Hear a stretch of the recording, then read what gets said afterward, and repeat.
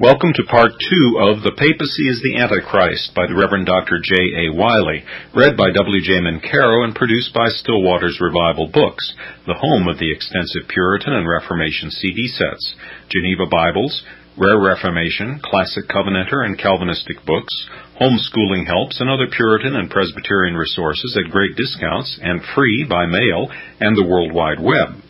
Please visit our website at www.swrb.com and or sign up for our email super special discount mailings by emailing your address to add, that is add, at swrb.com. If you would like more information on the topics addressed in this tape, please visit Still Waters Revival Books at www.swrb.com. And now to the message of part two from The Papacy is the Antichrist. We pray that the Lord Jesus Christ will greatly bless you as you listen. Chapter 9 The All Power of Christ and of Antichrist. We advance to another point in the parallelism between Christ and Antichrist. We find in the pretended miracles by which the papacy has sought to persuade the world that it was not the adversary but the friend of Christ. This pretense of miracles was to form a far too prominent feature in the coming Antichrist to be left out in Paul's great portraiture of him. Whose coming is after the manner of Satan, says the apostle, speaking by the Spirit in 2 Thessalonians 2 9, with all power and signs and lying wonders. The essential characteristic of anti Christianism, we have said, is its assumption of a character the very opposite of its true character. It was to be a secret undermining of Christianity under the show of being itself Christianity, a deadly war waged against Christ under the bold assertion that itself is Christ.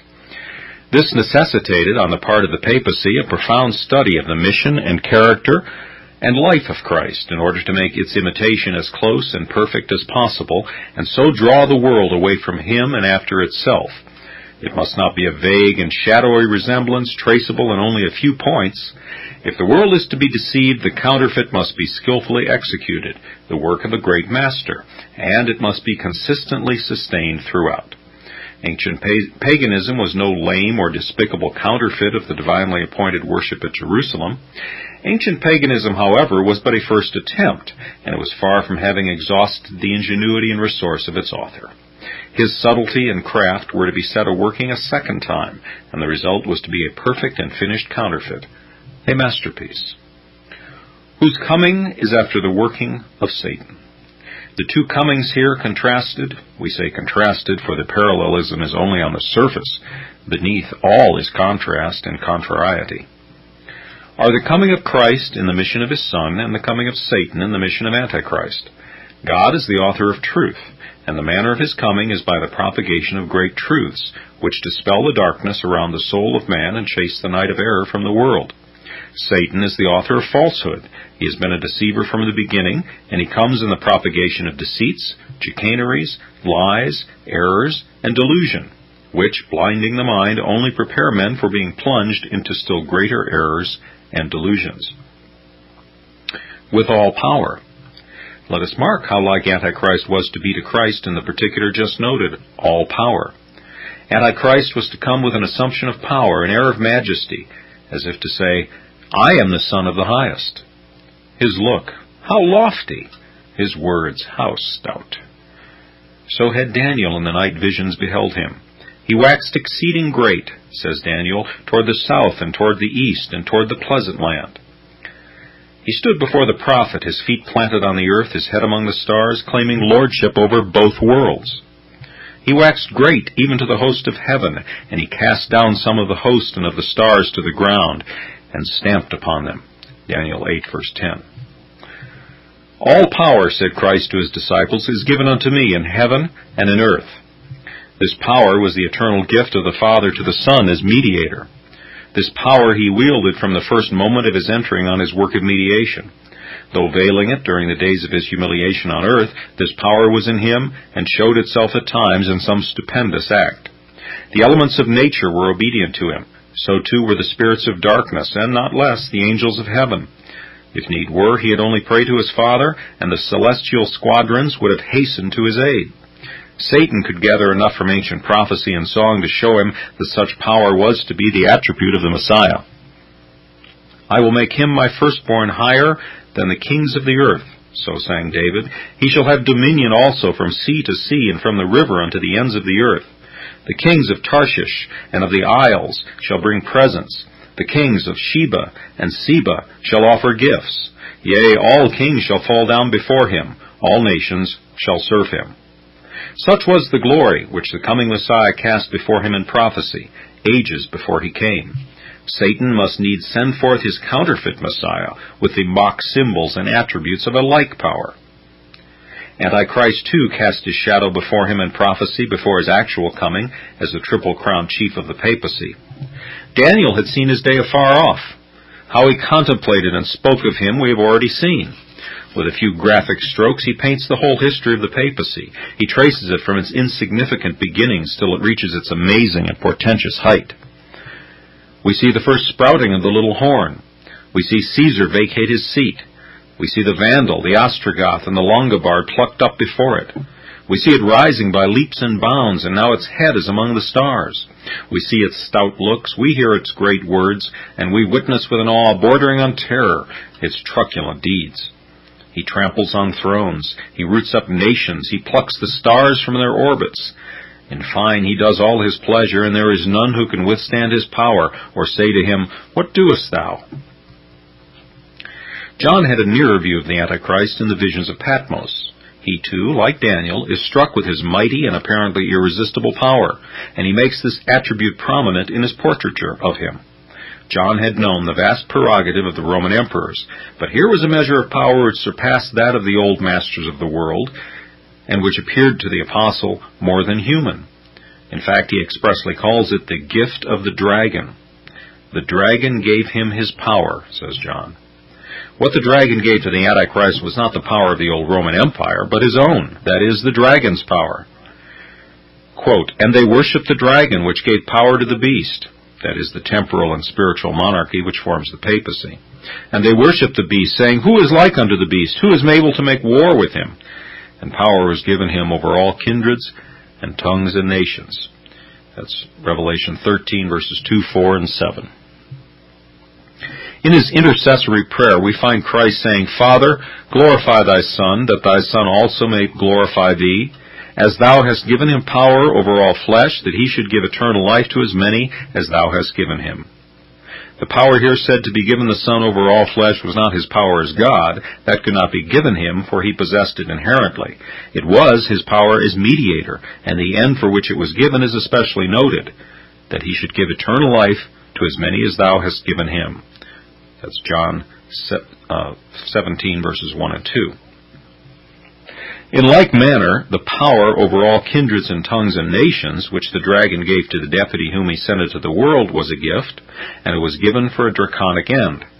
And accordingly, no sooner is this power conferred than we hear a chorus of worship ascending to the dragon from all them that dwell upon the earth, whose names are not written in the book of life of the Lamb, slain from the foundation of the world. Revelation 13:8 an obvious contrast to the company referred to in our Lord's intercessory prayer, them whom thou hast given me. And next, in meet accompaniment of the worship offered by those who had made the dragon their god, is the roar of blasphemy which is heard rising and swelling to heaven. There is given the Antichrist a mouth, and the opening of his mouth is as the opening of the doors of the pit. There issue out of it great things and blasphemies. He opened his mouth in blasphemy against God, to blaspheme his name and his tabernacle, and them that dwell in heaven. And the scene finds fitting outcome in the proclamation of war against the saints, which continues to be carried on all through his predicted term of power. Yes, verily prophecy makes no mistakes, and history makes none in interpreting it. He who hath understanding may read of the visions which were seen on the banks of the river of Ulai and in the isle of Patmos, and the events which have since passed over Europe. Let us now open the roll of Christendom. Let us survey its ages from the 5th to the 15th century. We are conscious at first of gazing only at chaos, the crowd of actors, and the conflict of events but distract and perplex the mind. Europe is a tumbling sea in which the old nations are being engulfed and new and barbarian races are arriving to take their place. We can discover neither unity nor progress in the drama. All is tumult and darkness. Let us shut up the roll. But stay, before putting it away, let us search it again, and it may be we shall find footsteps in these great waters. The cloud begins to lift in order to appear. The ferment in the minds of men gives birth to a great system, as yet without form or name. The materials of which this system, not yet constituted, is composed, are drawn from a great variety of sources.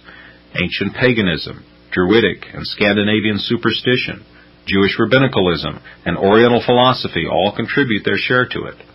A corrupt church arranges, combines, and concatenates these heterogeneous elements and stamping them with its own impress presents it to the world as Christianity. The new worship must have celebrants. A human agency gathers round it, and that agency comes gradually to be summed up and embodied in one great personality. Let us mark this colossus. His visage grows as the centuries revolve, and comes at last to look forth upon us, distinct and stout and terrible. But it is not new. We have seen it before. It is the same that looked forth upon us from the prophecies of Daniel and John. It is the same that shows itself incarnated in the popes of the Middle Ages. Let us mark how complete and perfect an incarnation we have of it in Innocent III, in whom the popedom came to its full growth, and showed itself to the world in all its superhuman magnificence and grandeur. During the terrible pontificate of this man, all that prophecy had spoken of the Antichrist was verified in fullest measure. Its predicted height of arrogance, of blasphemy, and of domination was reached. While this mighty pope stood over it, Christendom was still with fear. The stricken kings and nations cowered beneath him.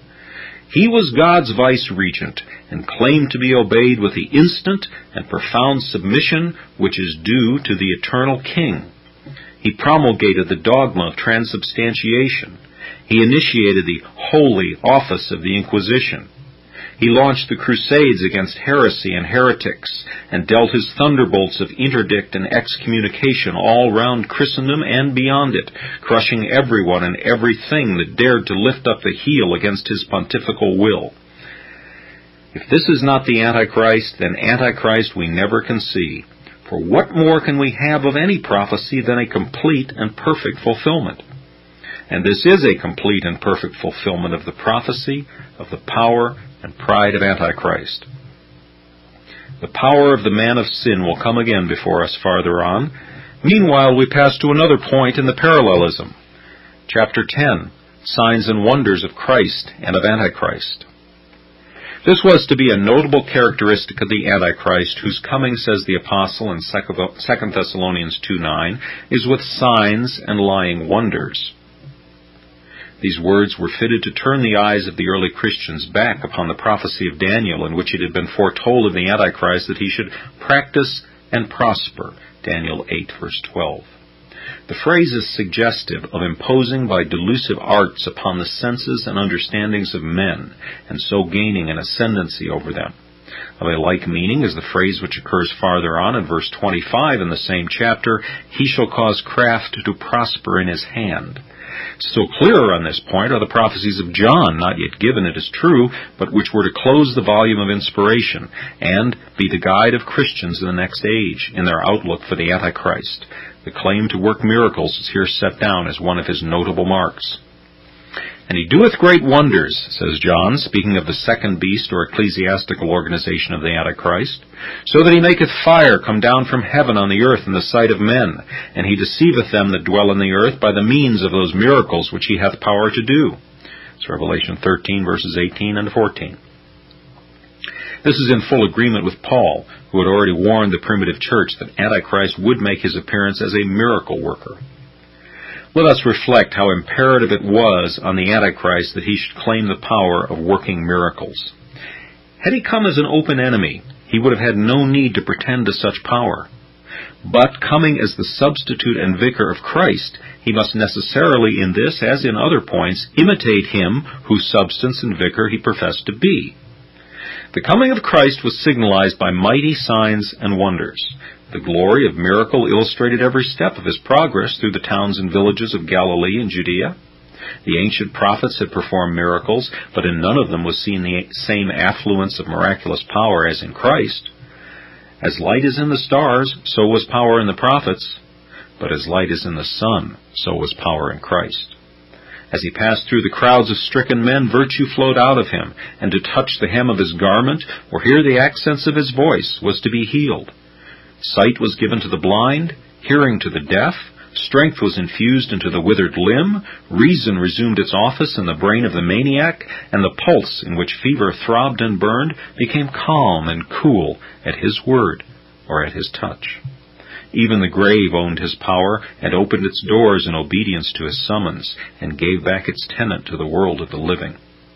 Such were the signs and wonders that heralded the advent and attested the messiahship of Jesus of Nazareth.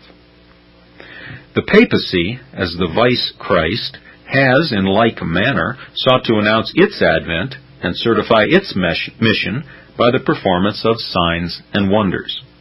Scarce is there a miracle recorded of the Son of God which the Church of Rome does not profess to have wrought. She pretends to have opened blind eyes, to have unstopped deaf ears, to have cured fevers, palsies, madness, to have cast out devils, to have driven away pestilence, stayed the ravages of blight, and done things which it were too tedious to mention. Extending still farther the sphere of her miraculous operation, she has entered the realms of the grave, and shown that there too she wields power by pretending to give life to the dead. Certain of her saints have possessed the gift of miracles in an eminent degree, and their lives are one long record of prodigy and wonder. They have dried up rivers, walked upon the ways of the sea and stilled tempests. Angels have descended to minister to them, and preternatural stars have shone out to lead them in the dark. In short, the Church of Rome claims to have wielded the same unbounded power over both the visible and the invisible world which Christ did, and to have imitated him in all things. Well, save the meekness of his spirit, the purity of his doctrine, and the holiness of his life. Popery professes, too, to work spiritual wonders. Those divine and saving changes on the heart and soul of man which Christianity accomplishes and which it is the prerogative of Christianity alone to accomplish. The Church of Rome professes in baptism to regenerate the soul and change the eternal destinies of the baptized. By anointing with oil, she fills men with the Holy Ghost. By her sacraments, she replenishes them with grace. By ordination, she bridges over 18 centuries and joins the priest to Peter. Five words spoken at the altar change the bread and wine into the body and blood of Christ. Two words uttered in the confessional affect the pardon of the penitent, and the viaticum gives assurance to the man setting out on his last journey that he shall find the gates of paradise open to give him entrance among the blessed. These are mighty wonders. It is thus that the false Christ has carried on the war against the true Christ. But a single term is thrown in which effectually breaks the spell and dissolves the power of these wonders over all who are not wilfully subject to their illusion. The mystery of iniquity was to come with lying wonders, a most essential difference, which it becomes all to note who have a mind not to be deceived to their eternal loss. The miracles of Christ were done in the light of day, in the presence of thousands who could sift them and subject them to infallible tests, and who, having done so, were forced to the conclusion that either the miracle was true or their senses were false. Of those who saw them done, not a few were the bitter enemies of the person who wrought them, and would have been glad to find that they were cheats, and not slow to proclaim the imposture to the world. And yet these miracles remained uncontradicted. No one in all the nation of the Jews ventured to deny the truth of any one miracle of Jesus. The farthest that malevolence, and slander deemed it prudent to go was to insinuate that the miracle had been wrought by satanic power. The reply to the accusation given on the spot and at the time was as conclusive as it was dignified, and it has lost none of its force even yet. Can Satan cast out Satan? But let us mark how different it is with the other class of miracles, and how lacking they are in that indubitable evidence that attests to the mission of the Son of God. There is not one of them that could maintain its claim as a ver- veritable fact before a tribunal of unbiased and enlightened judges. Some of these miracles were evidently cheats on those in whose presence they were wrought. Of late, many startling discoveries have been made of the machinery by which these miracles were done. Many of these wonders were not published to the world till some hundreds of years after they were said to have been wrought. Their workers would seem to have been unambitious of living fame, seeing they hid their light under a bushel. And some of these miracles are so childish that it is an insult to our understandings to ask us to believe that God ever interposed his power to work such deeds. Prophecy gave them the right name before they were done. They are lying wonders. The spiritual performances of the Church of Rome are emphatically lying wonders. Baptismal regeneration is a lying wonder. Sacramental grace is a lying wonder. Priestly power is a lying wonder. The absolution of the confessional is a lying wonder. Transubstantiation is the biggest wonder and the greatest lie of all. And extreme unction is a last and fatal lie. There is no reality behind any of these things and they are the more to be deplored that they have immediate reference to the eternal world, and that millions take their departure to the world fully confiding in these lies for salvation. Let us mark the parallelism. It is at once a parallel and a contrast.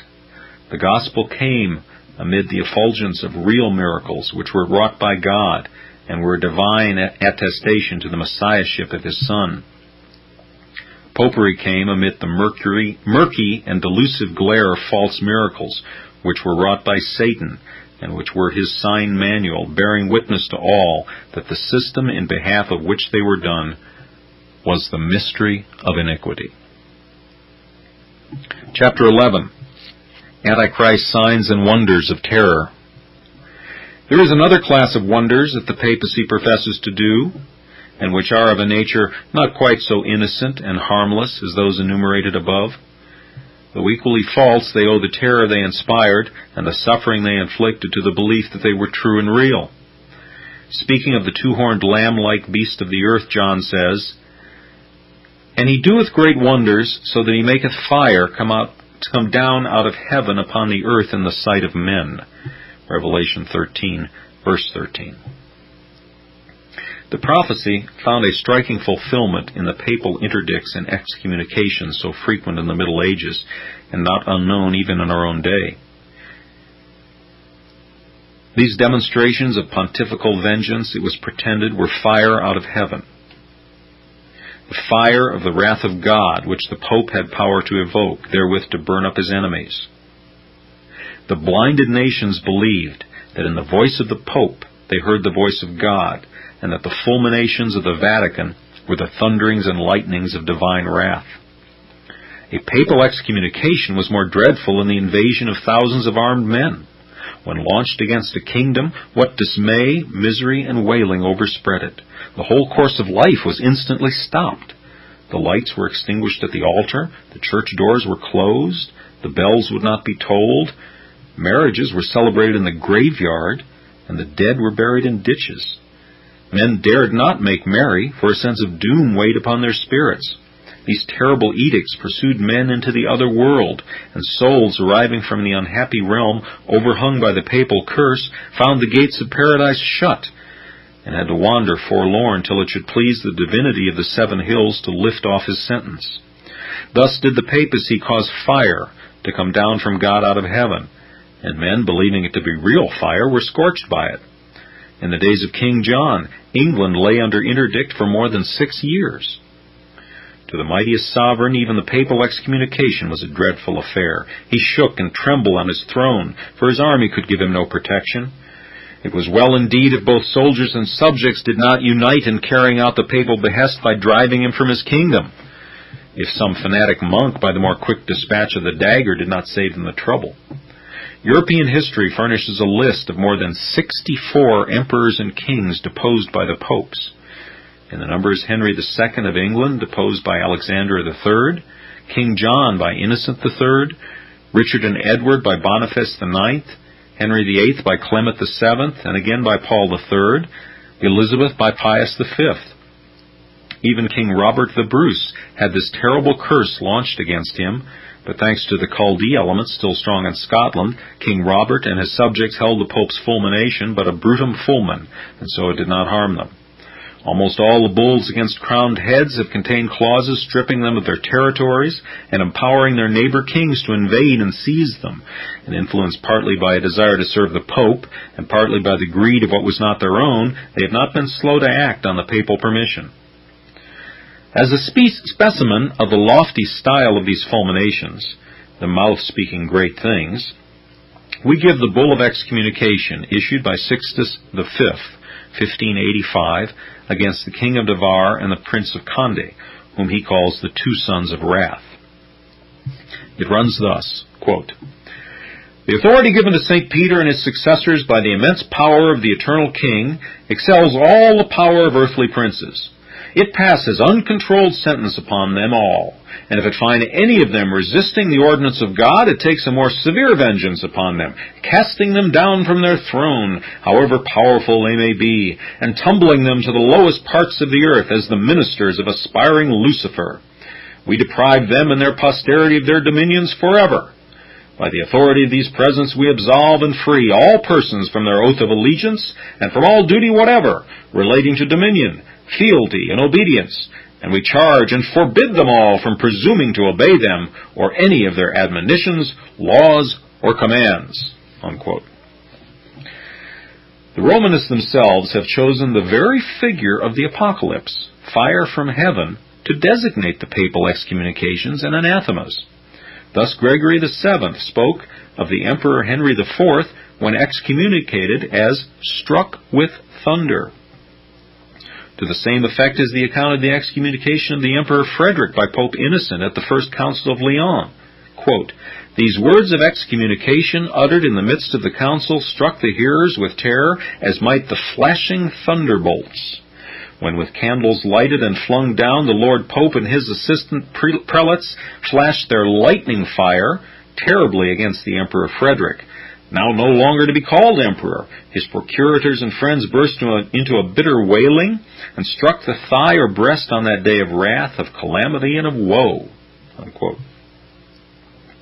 It was in the days of Gregory VII that the papal heavens began thus to thunder and lightning. The first burst of the tempest continued for nearly 200 years, its fury falling mainly on rebellious kings. When the kings were subdued, the storm was next directed against heresy and heretics. Since the, since the days of Innocent III till our own revolution of 1688, there were only brief periods of silence in the pontifical firmament.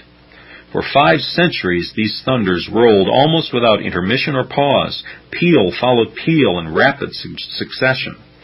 The Crusades of the Waldenses, the Hussite campaigns in Bohemia, the wars of Charles V in Germany, the wars of the League in France, the butcheries of Alva in the Low Countries, the Thirty Years' War in the German fatherland, the St. Bartholomew Massacre in France, and the equally bloody massacre of Irish Protestants in 1641. These are only a few of the more notable thunderbursts which have marked the course of that long tempest of pontifical wrath which began in the days of Hildebrand in the 11th century and continued its terrible reverberations until 1688.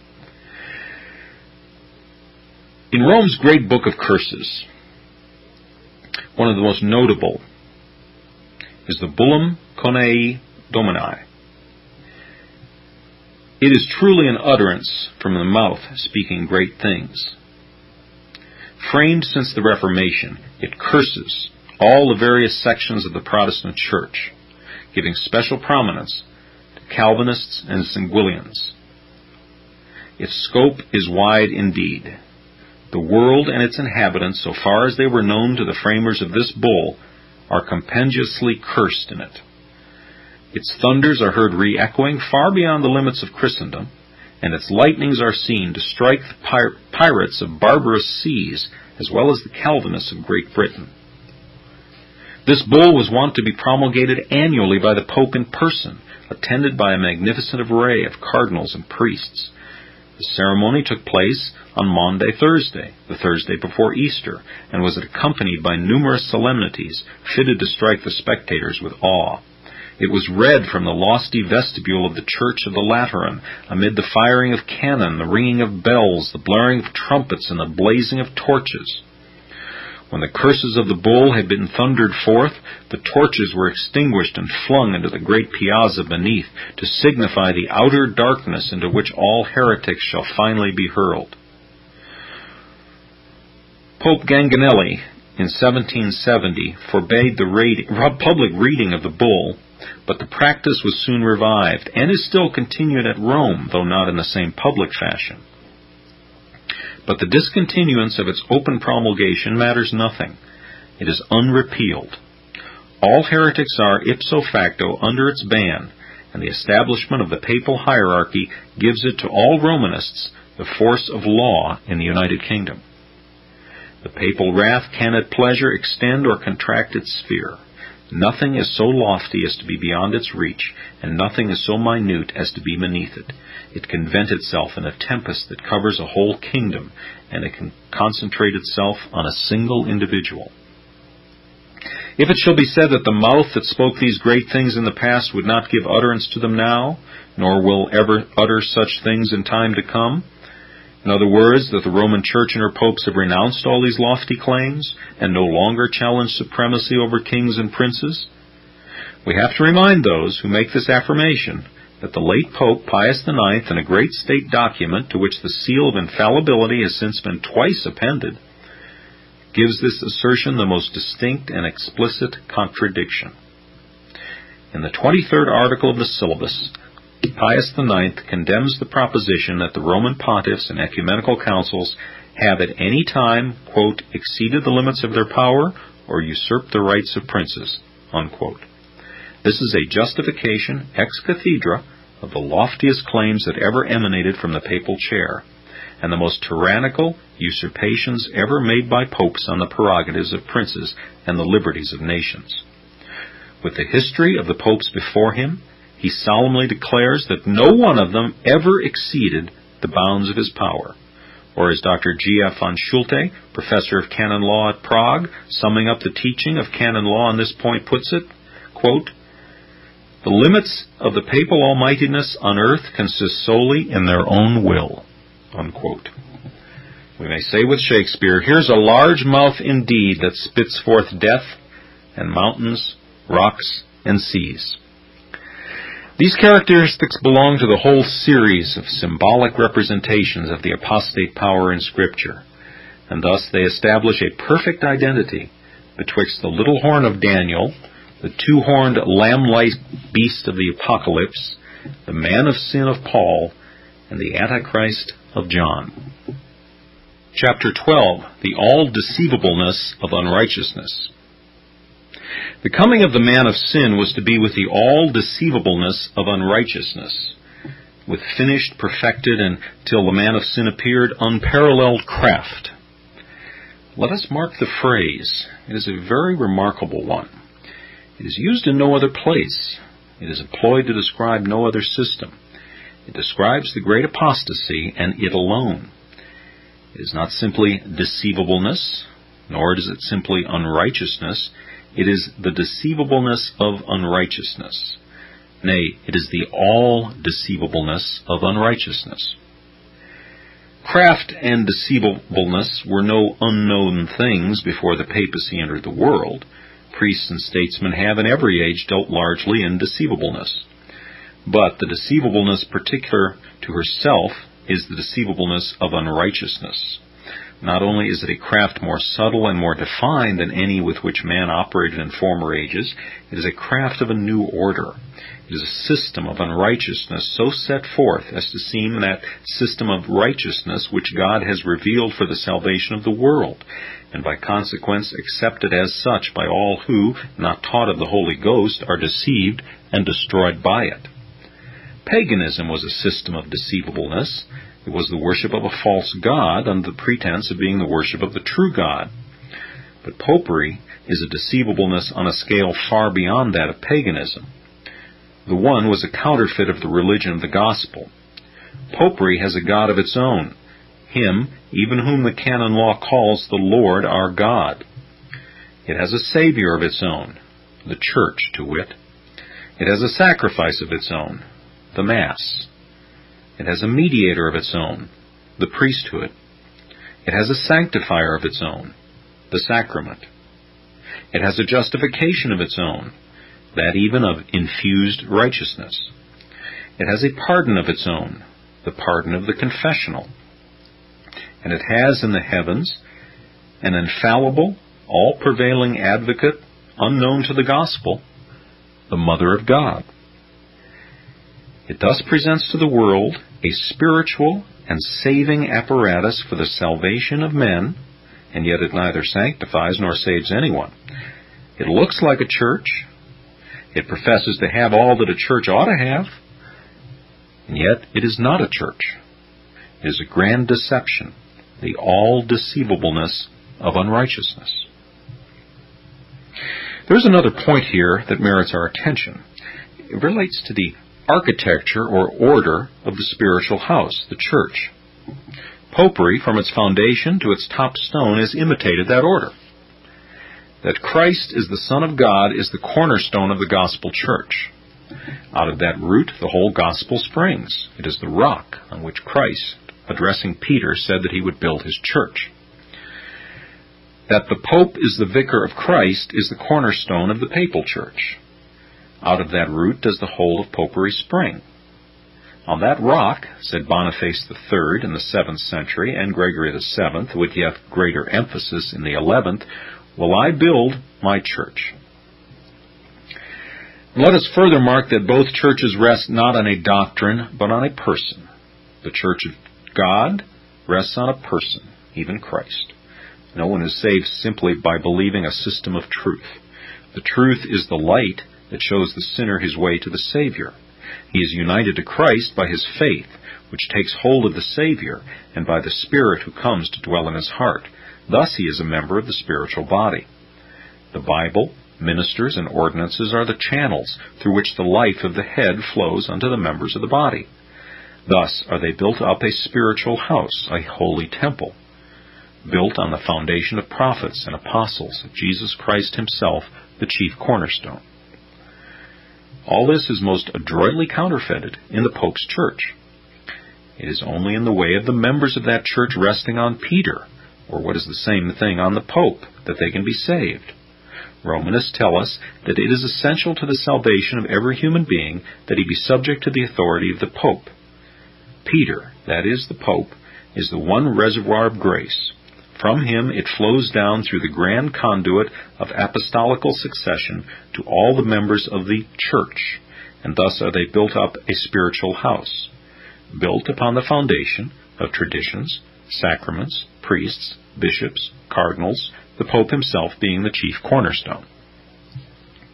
Moreover, the whole policy and actings of the Roman Church have been marked by a deceivableness unequaled by any other society or confederacy known to history. Her popes have been the most astute race of rulers the world ever saw. What a depth of cunning and craft! Where is the cabinet or monarch that can cope with it? Her more than human insight Rome conceals under the guise of artlessness and simplicity. She looks so guileless and so lamb-like that statesmen say we shall have no difficulty in holding our own against diplomats like these. It is only when they are outwitted and fooled by them that they open their eyes and begin to wonder where the strength lies that has baffled them. Rome buys and sells statesmen in her market. She uses them as the muleteer his beasts of burden. When they're old and broken down and can no longer do her turn, she hurls them from the high places to which she had exalted them, and leaves their mangled reputations like unsavory carcasses on the highway of history, that posterity may see how Rome rewards those who serve her. It was written of her of old time, She hath cast down many wounded, yea, many strong men have been slain by her. This vast deceivableness is one of the main sources of the strength of the so-called Church of Rome. She has the art of enlisting all the claims of virtue and all the sanctions of law on the side of that by which virtue is outraged and law violated. Where her purpose is the most cruel, her speech is ever the most bland. Where her motive is the most villainous, her profession is ever the most plausible. She always gives the holiest name to the most unholy deed. When she burns a heretic, she calls it an auto de fe, an act of faith. When she ravages a province with fire and sword, She styles it a crusade, that is, an evangelistic expedition. Her torture chamber is styled the Holy Office. And when she deposes monarchs, stripping them of crown and kingdom, and compelling them, as she did Henry IV of Germany, to stand with naked feet at her gates amidst the drifts of winter, it is with the make believe of a kind father administering salutary chastisement to an erring son. In short, she not only transforms herself into an angel of light, but vice itself she transforms into virtue, decking blackest crime in the white robe of innocence, and arraying foulest iniquity with the resplendent airs of holiness.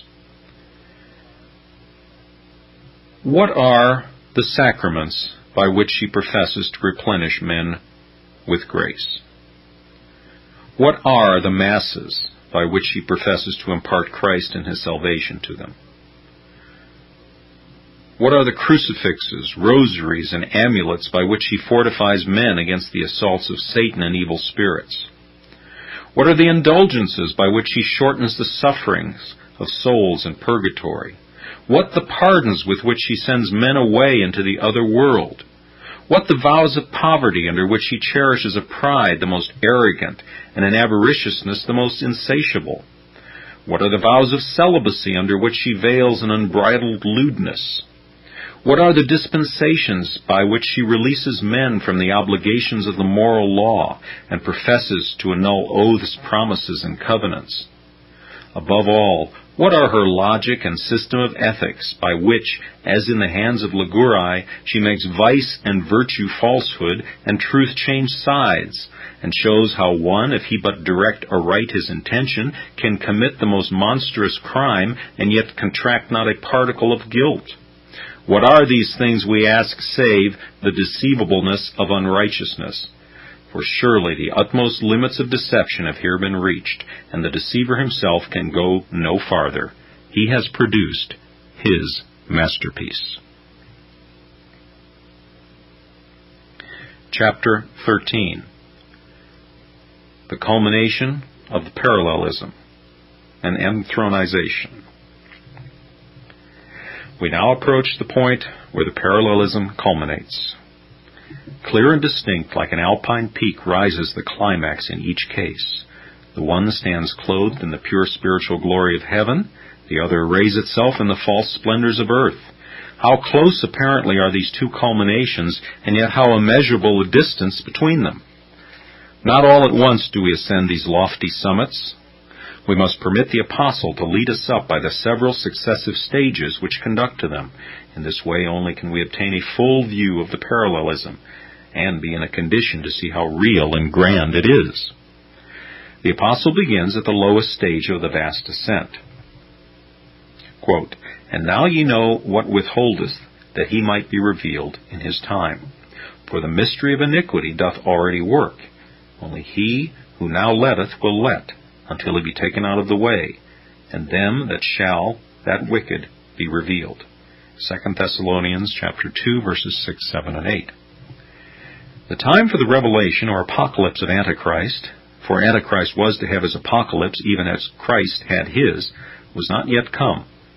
The mystery of iniquity was already working, working in the region of principles and influences, and working in the region of seducing spirits. But meanwhile, there existed a great let, or obstruction, to his open revelation. Paul hints very plainly that the Thessalonian Christians knew what that obstruction was, and therefore he did not name it. He had visited them some time before, and talked freely with them about the coming apostasy, and had mentioned the let, which must first be removed before the apostasy could be free to develop itself. That obstruction was the Roman Empire. When present, talking freely with him on the subject, Paul could say so in express terms, but it might be dangerous to name the Roman Empire in an epistle to be read openly and go the round of the churches. That might draw down on the Christians the displeasure of the Roman authorities. The apostle knew the hindrance in Antichrist's path, having learned it doubtless by the study of Daniel and the revelation of the Spirit. It was known, moreover, to the early fathers, who all turned their eyes to Rome as the fated spot where the lawless one was first to show himself, but they spoke of him with bated breath and in circumlocutionary phrase. While the Roman Empire stood, it was impossible that Antichrist should appear. Caesar was Pontifex Maximus, and while he held possession, there could be not be two high priests occupying the same capital, sharing the same throne, and sacrificing at the same altars. The first and lesser Pontifex Maximus must be removed before the second and greater could stand up. This was to happen in no long time. God would remove the let by bringing the Gothic nations into Italy, overturning the empire, and making vacant the throne of Caesar. Then Antichrist would climb up to the empty seat. God chased the Caesars from Rome, says de Maistre, that he might give it to the popes. Let us mark next that it had been decreed of both Christ and Antichrist that they should occupy thrones. No meaner seat than a royal one must either of them have. Christ was to sit on the throne of David, and Antichrist was to sit on the throne of Caesar. In pursuance thereof, a train of providences preceded the advent of each, the final end of which was to make vacant the throne they were respectively to occupy. Three revolutions in the royal line of Judah were to make way for Christ, and four consecutive revolutions in the line of the world power were to open the way for the coming of Antichrist. Jacob, on his deathbed, had given his posterity a sign of the instant appearance of the Messiah.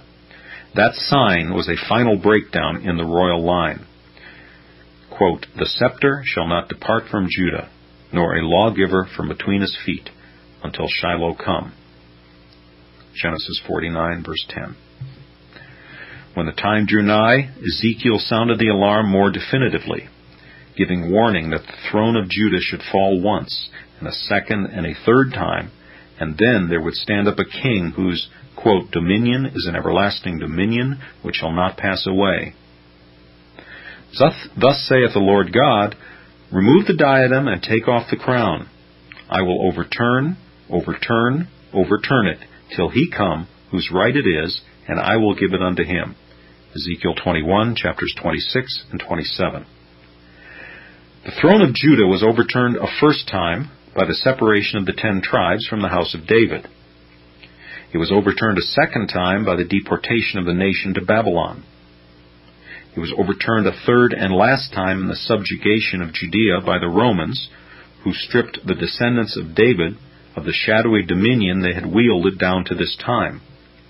Then Christ came, of whom the angel who announced his birth spoke thus The Lord God shall give unto him the throne of his father David, and he shall reign over the house of Jacob forever, and of his kingdom there shall be no end. Luke 1, verses 32 and 33. In Antichrist's counterfeit church and kingdom, the parallelism on this point is striking indeed. The man of sin was, when fully developed, to occupy the throne of this world. This magnificent post had been offered by the tempter to the true Christ. Quote, All the kingdoms of the world and the glory of them will I give thee, if thou wilt fall down and worship me, said Satan. The offer was promptly declined. The tempter next turned into the false Christ. I will convert thy chair into a throne, said he to the bishop of Rome, and thy pastoral staff into a royal scepter, if thou wilt be my vassal. The offer met no second refusal. The bargain was struck and faithfully fulfilled on both sides. The stipulated worship was rendered, and the wages were fully paid. In witness, we cite Innocent III in the 13th century. Do we not hear him boasting that he had been set over the kingdoms to build and to pluck up at his pleasure? And how often do we find the same mighty claim in the mouth of his successors in the following centuries? Nay, even in our own day, the echoes of the same proud boast are heard from the papal chair. It took a thousand years to prepare the way of both and seat each in his respective throne. The throne of David was emptied again and again, that it might be filled by the king of the eternal empire. The throne of the world power was in like manner emptied again and again, that it might be filled by the king of whom it had been written, He goeth into perdition. The throne of the world power was overturned the first time in the fall of Babylon. It was overturned a second time in the overthrow of the Medo Persian power. It was overturned a third time in the extinction of the Greek kingdom and it was overturned a fourth and last time when the Roman Empire fell before the Goths. There was no longer a Caesar at Rome. He that letteth will let, the apostle had said, until he be taken out of the way. He had now been taken out of the way, and the hour was come for that wicked to be revealed. Let us here mark that both mysteries have the same culmination, an enthronization even. The mystery of godliness, beginning in the cradle, ends on the throne, the throne of heaven. The mystery of iniquity, beginning in the silent and hidden workings of early times, ends on the throne, the throne of earth. It appears plain to us, though expositors have passed it over, that the two passages, 1 Timothy 3.16 and 2 Thessalonians 2 verses 3 through 12, the one descriptive of the mystery of godliness, and the other descriptive of the mystery of iniquity, were intended by the apostle to be, and are, parallels, clause by clause. Each clause in the one throws its light upon the corresponding clause in the other, and thus the depth and height of each mystery are evolved. A single glance at these two passages will suffice to show that it is by the same ascending gradations that we mount up to the climax of both mysteries. Let us look at each. 1 Timothy 3:16, quote, "And without controversy great is the mystery of godliness. God was manifest in the flesh, justified in the spirit, seen of angels, preached unto the Gentiles, believed on in the world, received up into glory." It is thus the apostle in a single verse, with masterly comprehensiveness, states the successive steps, the whole of that magnificent graduation by which the mystery of godliness reached its mighty climax. God was manifest in the flesh. Mary brought forth her firstborn son and wrapped him in swaddling clothes and lay him in a manger. There was the beginning of the mystery. This is the first step in the mighty ascent. Justified in the Spirit, as when the Spirit descended upon him in a visible form at his baptism, and again when he began his public ministry, with all its attendant miracles and wonders, the Spirit of the Lord God is upon me, were the words with which in the synagogue at Nazareth he opened his first sermon. For he hath anointed me to preach good tidings to the meek. Seen of angels, as when they sang his natal hymn at Bethlehem, and when they ministered to him in the wilderness, after his temptation, and again in his agony in the garden, when there appeared an angel from heaven strengthening him, and on the morning of his resurrection, when two of them waited in his sepulchre to tell the women that he was risen preached unto the Gentiles. Go ye into all the world and preach the gospel to every creature, was his last charge to his apostles when about to ascend from the Mount of Olives. No sooner was the Spirit given at Pentecost than his apostles and evangelists traveled all through the land of Israel, and passing beyond the bounds of Jewry, they preached the gospel in the cities of Greece and Rome, and going on still farther toward the west, carried the tidings of the cross to the shores of Britain. Believed on in the world, so rises the gradation, and so does the mystery of godliness advance to its culmination.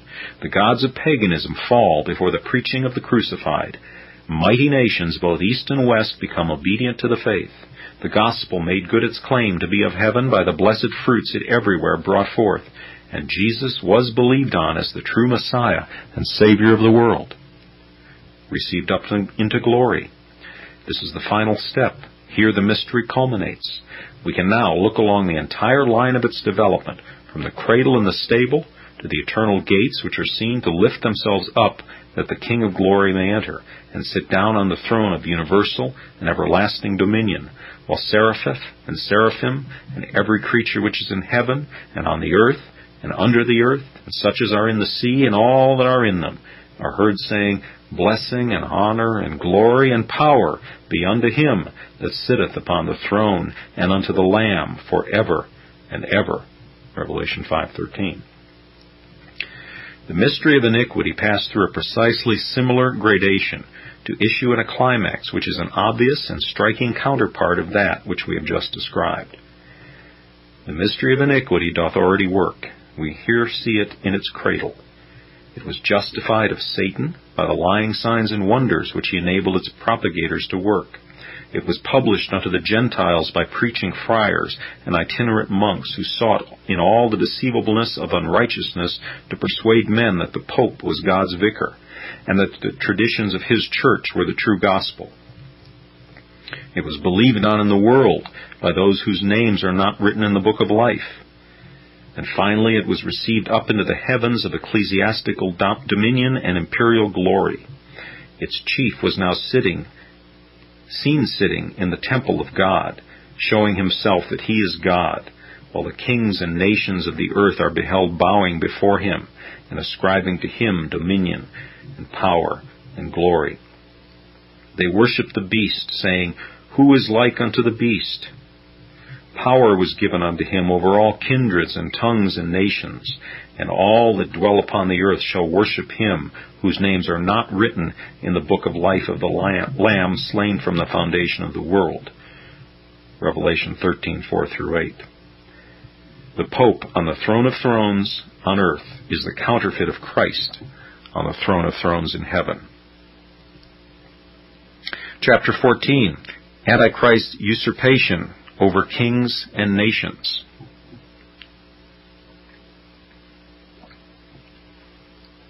Mounted on the world's highest seat, how was the Antichrist to demean himself? With an arrogance never witnessed before. As regards kings, he was to hold himself their master, and as regards God, he was deem himself his equal. Who opposeth and exalted himself all, above all that is called God or that is worshipped, so that he as God sitteth in the temple of God, showing himself that he is God. 2 Thessalonians 2 4. These words would appear to foreshadow a double usurpation on the part of Antichrist, the first over all earthly rulers, and the second over the great ruler of heaven. The testimony of history is clear on both points. It shows that the ambition of the Pope has been twofold. He has vaulted over the throne of kings into the seat of God. Who are they who are called God, whom Antichrist was to oppose and over whom he was to exalt himself? We strongly incline to think that it is magistrates and kings who are meant. Righteous law is the expression of God's will. Those who administer it are his deputies. On earth they fill the office and bear the image of the supreme magistrate. Thus, in Scripture, magistrates are called gods. I have said ye are gods, Scripture says. God sitteth in the assembly of the mighty, he judges among the gods. That's Psalm 82, verse 1. There be, says the apostle in 1 Corinthians 8, 5, that are called gods, whether in heaven or in earth and we are commanded to be subject to kings and in all authority for conscience sake. In this light, the clause foretells that Antichrist would usurp supremacy over all civil authority and rule on earth. This is the true exegesis of the passage.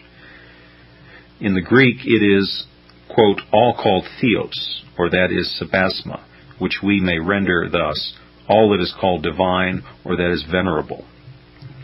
And truly the papacy has fulfilled the prophecy to the letter. As a pretended divine and infallible vice regency, it claims to hold in its hands the administration of all human affairs, temporal and spiritual, and to make all nations, magistrates, and kings accountable at its bar. Let us here again mark the parallelism. This assumed vice regency over all human affairs is another part of the false Christ's imitation of the true Christ. Christ possesses this power in reality, therefore Antichrist must needs possess it in appearance. God the Father is the immediate governor of the universe, but he carries on his government through God the Son. This power he has delegated to Christ as head of the church and as a reward of his sufferings. He raised him from the dead, says the apostle, and set him at his own right hand in the heavenly places, far above all principality and power and might and dominion, and every name that is named, not only in this world, but also in that which is to come, and hath put all things under his feet, and gave him to be head over all things to the church, which is his body. Ephesians 1 verses 20 through 23. These words expressly teach that the Father made Christ head of the church, and so gave him all spiritual power, and head of the world to the church, and so subordinated to him all temporal power. The passage, in fact, presents him as seated on the throne of the universe, on his head the diadem of unlimited and everlasting dominion, in his hand the scepter of a boundless empire, and at his bidding all the princedoms and powers of heaven, all the thrones, armies, and potentates of earth, in order to the effectual carrying out of the great ends of his mediatorial sovereignty.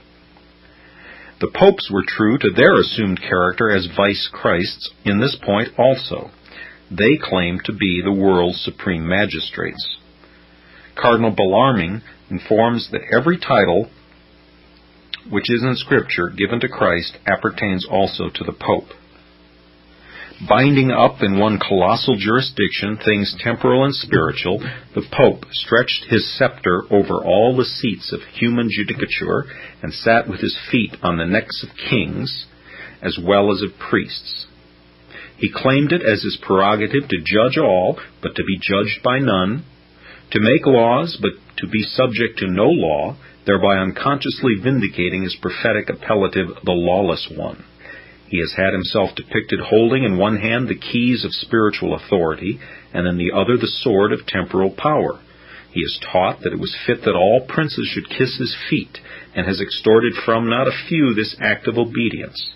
He has inculcated on monarchs that sound orthodoxy requires them to hold their kingdoms as fiefs of the papal chair, and to keep alive in them this pious frame of mind, he has imposed on them and their subjects the tax of Peter's pence.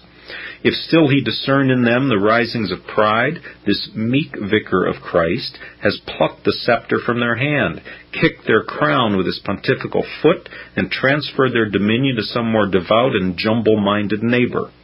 All this he has done as set of God over the kingdoms and nations to plant and to pluck up, to build and to pull down, to make and unmake kings.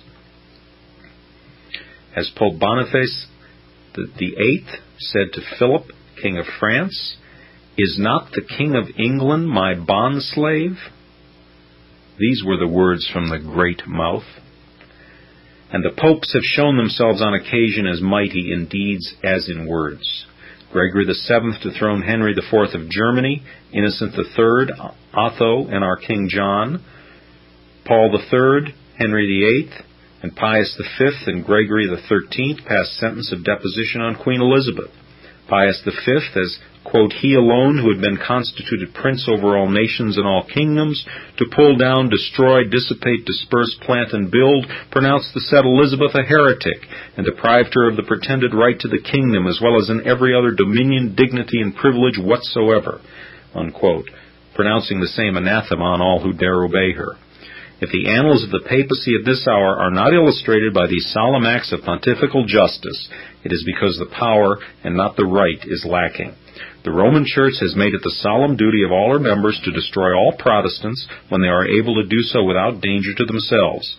Bannes, a Dominican, determines that, quote, Catholics in England and Saxony are excused from rising up against their Protestant princes with their subjects because they commonly are not powerful enough, and the attempt in such circumstances would expose them to great danger, unquote. Bellarmine, one of their greatest authorities, is equally frank and explicit. He says, quote, If it were possible to root out the heretics, without doubt they are to be destroyed root and branch. But if it cannot be done because they are stronger than we, and there be danger that if they should oppose us that we should be worsted, then we are to be quiet. Unquote. The two latest popes, Pius IX and Leo XIII, in their public manifestos, claim the same formidable power, but they prudently postpone the exercise exercise of it till the arrival of a happier day to the papacy.